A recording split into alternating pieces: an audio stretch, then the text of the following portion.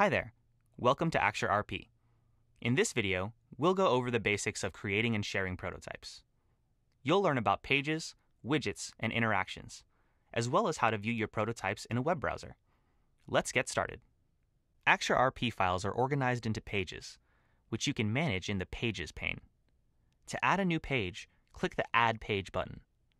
Double-click a page's name to open it on the canvas. The canvas is where you'll build your diagrams. You can work without boundaries, or you can set page dimensions based on the target device you're designing for.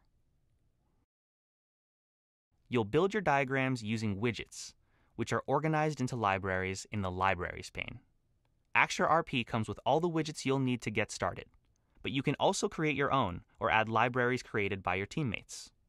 To add a widget to the canvas, drag it from the Libraries pane. You can also use the options in the Insert menu to add text, images, and shapes. To edit the text on a widget, double-click it or select it and press Enter. To change the style properties of your widgets, head over to the Style pane.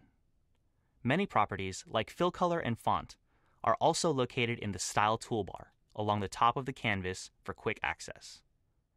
Now that we have a few widgets on the canvas, let's add some interactivity to them in the Interactions pane. To quickly create a link to another page in your project, select a widget and click Click or Tap Open Link, then select a page in the list that appears and click OK. Let's test that out now.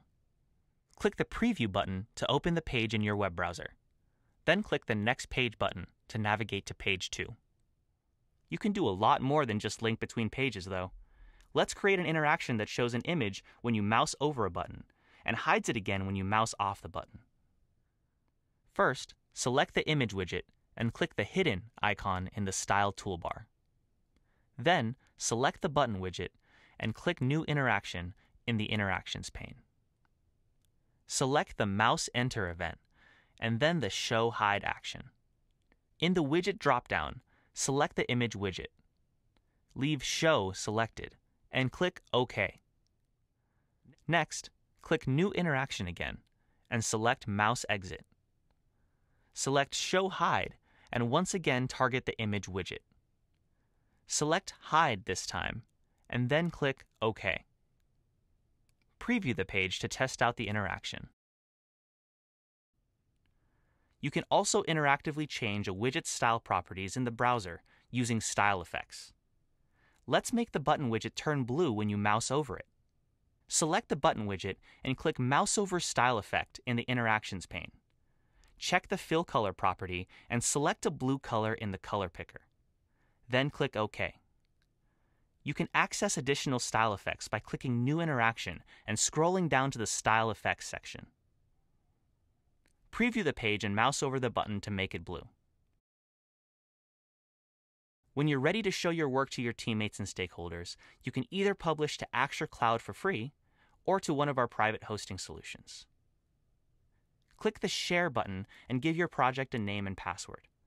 Then click Publish to get a shareable link to the hosted project. That's all you need to get started in Axure RP.